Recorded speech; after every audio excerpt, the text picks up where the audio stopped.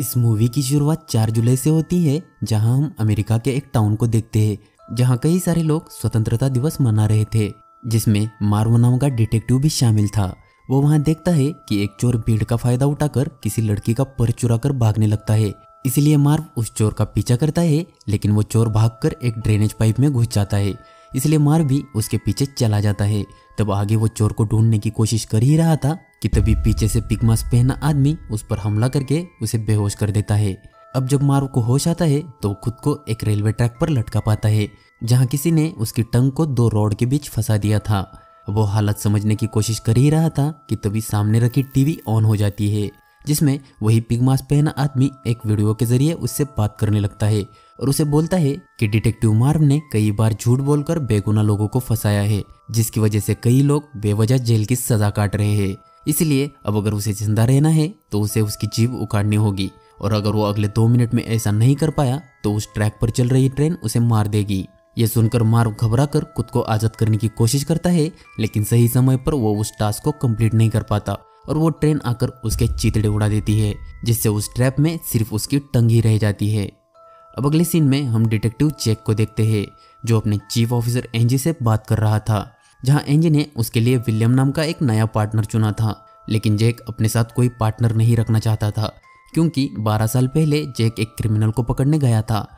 तब वहाँ उसने बैकअप भी बुलाया था, लेकिन वहाँ कोई बैकअप नहीं आया। इसलिए उसे उस क्रिमिनल से अकेले ही निपटना पड़ा, जिसके चक्कर में उसे गोली लग गई और वो मरते मरते बच गया। इसलिए अब वो किसी पार्टनर या बैकअप पर डिपेंड नहीं रहना चाहता था। लेकिन एनजी उसकी कोई बात नहीं सुनती और विलियम को उसका पार्टनर बना देती है। अब वो दोनों मिलकर उस जगह आते हैं जहाँ मार्व की मौत हुई थी। लेकिन मरने वाले की उन्हें वहाँ कोई पहचान नहीं मिलती, क्योंकि मार्व की बॉडी के तकरीबन 16 टुकड़े हो चुके थे। इसलिए वो बॉडी को लैब में भेजकर पुलिस स्टेशन आ जाते हैं, जहाँ जैक के लिए एक कुरियर आया था, जिस पर जैक उस पैकेट को खोलकर देखता है तो उसे उसमें एक प्ले में लिखा हुआ पेन ड्राइव मिलता है। इसलिए जैक उसे प्ले करके देखता है तो उसे उसमें स्पाइरल की फ़ोटो के साथ एक ऑडियो मैसेज मिलता है जो था कि मैं पुलिस डिपार्टमेंट को क्लीन करना चाहता हूँ, क्योंकि यहाँ सभी लोग अपनी पावर का गलत इस्तेमाल कर रहे हैं। इसलिए मैं अब उन्हें अपने तरीके से ठीक करने की कोशिश करूँगा। यहाँ जैक ऑलरेडी जिक्सॉ किलर के बारे में जानता था। इसलिए ये मैसेज सुनकर वो तुरंत समझ जाता है कि कोई जिक्सॉ को फॉलो करके मर्डर्स करने की कोशिश कर रहा है। इसलिए वो उस फ़ोटो में दिखने वाली लोकेशन का पता लगाकर अपने पार्टनर के साथ वहाँ पहुँच जाता है, जहाँ इन्वेस्टिगेशन के दौरान उन्हें एक बॉक्स मिलता है, जिसमें एक कटी हुई जीप और एक पुलिस बैच था। अब बैच नंबर और फॉरेंसिक रिपोर्ट से उन्हें पता चल जाता है कि मरने वाला आदमी मार्व था, जो कि एक पुलिस वाला ही था। अब कुछ देर बाद जैक अपने घर आ जाता है, जहाँ उसकी मुलाकात उसके डैड से होती है। और यहाँ हमें पता चलता है कि उन दोनों के रिलेशंस अच्छे नहीं थे। दरअसल जैक का डैड यानी मार्कस भी एक बहादुर पुलिस ऑफिसर था। और मार्व उसका अच्छा दोस्त था, जिसके मरने की खबर सुनकर वो जैक से मिलने आया था। तब जैक उसे बोलता है कि कोई सन की जिक्सॉ को फॉलो करके लोगों को मार रहा है। तब मार्कस उसे सावधान रहने की सलाह देता है। अब अगले सीन में हम देखते हैं कि जैक और बाकी ऑफिसर मिलकर उस किलर को पकड़ने का तरीका सोच रहे हैं। तब उन्हें पता चलता है कि मार्व का मर्डर होने से पहले वो इंडिपेंडेंस डे की सेलिब्रेशन में था, जहाँ से वो किसी चोर का पीछा करते करते ड्रेनेज लाइन में चला गया। इसलिए फिर से इन्वेस्टिगेट करने दो ऑफिसर को वहाँ भेज दिया जाता है, जहाँ की शॉप की कैमरा फुटेज देखकर ऑफिसर फिच को उस चोर के बारे में कुछ क्लू मिल जाता है। इसलिए वो अपने साथी को पुलिस स्टेशन में जाने को बोलकर अकेला ही उस चोर को ढूँढने निकल जाता है। लेकिन क्लू वाले लोकेशन पर उसे कुछ नहीं मिलता। इसलिए वो वापस जाने लगता है कि तभी पिग मार्क्स पहना किलर उसे भी बेहोश कर किडनैप कर लेता है। अब जब उसकी आँख खुलती है तो वो खुद को एक ट्रैप में फंसा पाता है, जहाँ उसके हाथ किसी तरह के मैकेनिज्म में फंसे थे और उसे एक वाटर टब में रखा गया था। तभी सामने रखी टीवी अचानक ऑन हो जाती है। जिसमें वही पिग मास्क पहना आदमी सामने आता है और बोलता है कि कुछ साल पहले फिच ने किसी आदमी पर बिना वजह गोली चलाकर उसे मार दिया था। इसलिए अगर उसे इस ट्रैप से आज़ाद होना है तो उसे अपनी उंगलियाँ उखाड़नी होगी। और अगर टाइम रहते वो ऐसा नहीं कर पाया तो इलेक्ट्रिक करंट की वजह से उसकी मौत हो जाएगी। और यहाँ भी ऑफिसर फिच उस टास्क को कंप्लीट नहीं कर पाता और इलेक्ट्रिक करंट की वजह से उसकी मौत हो जाती है। इधर मार्कस भी उस किलर को पकड़ना चाहता था, इसलिए वो किसी वेयर हाउस चला जाता है लेकिन वो भी कुछ करे, इससे पहले ही वो किलर उसे भी किडनैप कर लेता है।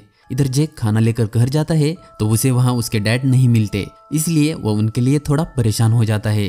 दूसरे दिन स्टेशन पर फिर से जैक के लिए कुरियर आता है, और इसमें भी एक पेन ड्राइव था। लेकिन इस बार उसमें एक डॉल के साथ वीडियो मैसेज था, जो उन्हें बताता है कि उसने आज एक और बेमान ऑफिसर को सजा दी है। ये सुनकर जेक इस मैसेज में दिखने वाले वीडियो की मदद से उस जगह का भी पता लगा लेता है। और जब पुलिस वहाँ पहुँचती है तो उन्हें वहाँ एक कार मिलती है, जिस पर एक स्पाइरल का निशान था। तब उस कार में उन्हें एक बॉक्स मिलता है, जिसमें किसी की कटी हुई उंगलियाँ थी। इसी के साथ उन्हें वहाँ एक बैच भी मिलता है, जिससे उन्हें पता चल जाता है कि ऑफिसर फिच का भी मर्डर हो गया। अब फिच के साथ आई लेडी ऑफिसर जेक को बता देती है कि फिच उस चोर के पीछे गया था, जिसका नाम बेन था। इसीलिए उन सभी को बेन के ऊपर शक हो जाता है, क्योंकि दोनों मर्डर के साथ कहीं ना कहीं उसका ताल्लुक था। अब जेक अपने डैड को ढूँढने उसके घर जाता है, लेकिन वो वहाँ पर भी नहीं था। इसलिए वो उसे काफ़ी कॉल करता है, लेकिन मार्कस फ़ोन भी नहीं उठा रहा था। इसलिए उसे उसकी चिंता होने लगती है। दूसरे दिन स्टेशन पर फिर से एक कुरियर आता है, जो बाकी कुरियर से बड़ा था। उसे खोलने पर जेक देखता है कि उस बॉक्स में किसी की स्किन है, जिस पर एक टैटो था। वो टैटो देखकर जेक तुरंत समझ जाता है कि यह विलियम की स्किन है, क्योंकि विलियम के हाथ पर भी सेम टैटो था। विलियम का यह हाल देखकर जेक काफ़ी ज़्यादा दुखी होता है। तभी उन्हें स्किन के पीछे एक छोटी बोतल मिलती है, जिसकी मदद से उसे एक एड्रेस मिलता है। इसीलिए वो सब उस एड्रेस पर पहुँच जाते हैं, जहाँ उन्हें बिना स्किन की बॉडी मिलती है, जो विलियम की ही थी। जेक विलियम की यह हालत देखकर काफ़ी दुखी होता है, और तभी इधर हम एनजी को देखते हैं, जो पुलिस स्टेशन में थी। उसे मार्कस का टेक्स्ट मैसेज आता है, जो उसे कोल्ड केस रूम में जाकर कोई फ़ाइल चेक करने को कहता है। इसलिए एनजी कोल्ड केस रूम में जाती है, तभी वहाँ पिगमास पेना किलर उसे भी बेहोश कर देता है। अब एनजी को होश आता है तो वो खुद को एक टेबल पर बंधा पाती है, जहाँ उसके चेहरे को कवर किया गया था। एनजी को वहाँ एक टेप रिकॉर्डर भी मिलता है, जिसे प्ले करने पर किलर बोलता है कि एनजी ने काफ़ी करप्ट ऑफिसर को कवर किया है। इसीलिए अब अगर उसे इस ट्रैप से निकलना है तो उसे उसका स्पाइनल कॉर्ड काटना होगा। और अगर वो ऐसा नहीं कर पाई तो उसके चेहरे पर खोलता हुआ वैक्स गिरकर उसकी मौत हो जाएगी। अब एनजी अपने स्पाइनल कॉर्ड को काटने की काफ़ी कोशिश करती है, लेकिन तब तक वैक्स गिरकर उसकी मौत हो जाती है। अब जब जेक वहाँ पहुँचता है तो उसे एनजी की बॉडी मिलती है, जो काफ़ी खराब हालत में थी। उसकी यह हालत देखकर उसे अपने डैड की और ज़्यादा चिंता होने लगती है। इसीलिए वो कोल्ड रूम की कैमरा फुटेज चेक करता है, तब वो देखता है कि यहाँ से तेरह मिनट की फुटेज गायब है, और ये काम कोई पुलिस वाला ही कर सकता था। तब रिकॉर्ड से उसे पता चलता है कि last time footage retired officer Peter ने ऑपरेट की थी। इसलिए जेक तुरंत उसके पास जाता है, लेकिन पीटर वहाँ नहीं था। इसलिए जेक वहाँ से निकलने लगता है कि तभी वो किलर उस पर भी हमला करके उसे बेहोश कर देता है। अब जब उसे होश आता है तो वो देखता है कि उसे एक हथकड़ी से किसी पाइप से बांधा गया था। इसी के साथ उसे वहाँ एक सौ भी मिलता है, इसलिए उसे लगता है कि वो सौ उसका हाथ काटने के लिए है। और वो अपने हाथ को काटने ही वाला था कि तभी लकीली उसे वहाँ एक पिन मिलती है, जिसकी मदद से वो आज़ाद हो जाता है। अब आगे जाने पर जेक देखता है कि वहाँ एक और विक्टिम है, जिसका फेस एक मास्क से कवर किया गया था। जेक वो मास्क हटाकर देखता है तो वहाँ पीटर था। जेक उससे एनजी के मर्डर और कैमरा फुटेज के बारे में पूछता है। तब पीटर बोलता है कि वो इस बारे में कुछ नहीं जानता। तब जेक को वहाँ एक टेप रिकॉर्डर मिलता है, जिसे प्ले करने पर वो किलर पीटर से बोलता है कि उसने एक बेगुना आदमी को मारा था, जो एक करप्ट ऑफिसर के खिलाफ गवाही देने वाला था। इसलिए अब अगर उसे ज़िंदा बचना है तो किसी और को, यानी जेक को एक चाबी ढूंढनी होगी, जिससे वो आज़ाद हो जाएगा। मैसेज खत्म होते ही सामने लगी मशीन ऑन हो जाती है। जो कांच की बोतल गिरने पर उसके टुकड़े करके सामने फेंक रही थी। वो कांच पीटर की बॉडी में धस रहे थे।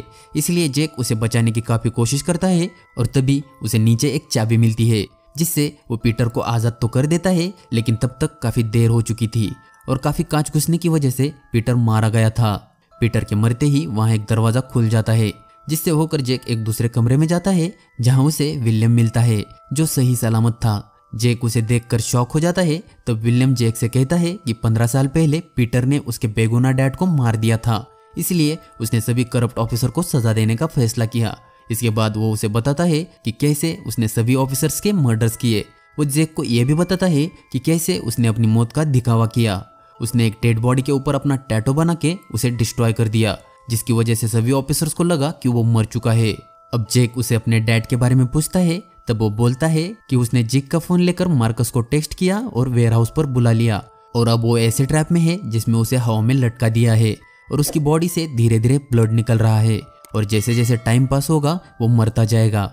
ये बोलकर विलम पुलिस को कॉल करता है और बोलता है कि यहाँ वेयर हाउस में एक सन की शूटर लोगों पर गोलियाँ चला रहा है। इसलिए जल्दी यहाँ मदद भेजिए। इसके बाद विलियम जेक को उसके डैड के पास लेकर जाता है, जहाँ अपने डैड की यह हालत देखकर जेक काफ़ी गुस्सा होता है और विलियम को गन पॉइंट पर लेकर मार्कस को फ्री करने को कहता है, जिस पर विलियम उसे बोलता है कि उसके हाथ में जो गन है, उसमें एक ही बुलेट है और मार्कस को फ्री करने के लिए उसे स्पायरल के निशान पर शूट करना होगा और अगर उसने विलियम को शूट किया तो मार्कस को नहीं बचा पाएगा। इसलिए जेक विलियम से वो गन हटाकर गोली उस ट्रैप पर चला देता है, जिससे मार्कस उस ट्रैप से छूट जाता है। अब पुलिस भी वहाँ पर पहुँच चुकी थी और वो एक कटर से दरवाज़ा काटने की कोशिश करती है, जिससे वो ट्रैप दोबारा ट्रिगर हो जाता है और मार्कस फिर से हवा में लटक जाता है। अब पुलिस के अंदर आते ही वहाँ की लाइट्स ऑफ़ हो जाती है और ट्रैप सेटअप की वजह से मार्कस के हाथ में एक गन आ जाती है, जिससे पुलिस को लगता है कि वो ही शूटर है और लाइट ऑफ़ होने की वजह से वो मार्कस को पहचान नहीं पाते और शूट करके उसे मार देते हैं। ये देखकर जेक काफ़ी गुस्सा होता है, लेकिन तब तक विलियम वहाँ से निकल चुका था। और मूवी यहीं पर खत्म होती है।